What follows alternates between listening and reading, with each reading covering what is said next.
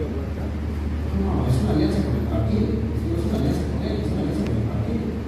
Es una alianza con la congruencia de que debemos más que nunca estar unidos. Sobre todo por el proceso que viene. Pero como dije en un inicio, cada uno de nosotros, antes de ser funcionarios públicos, políticos, artistas, lo que sea, somos ciudadanos.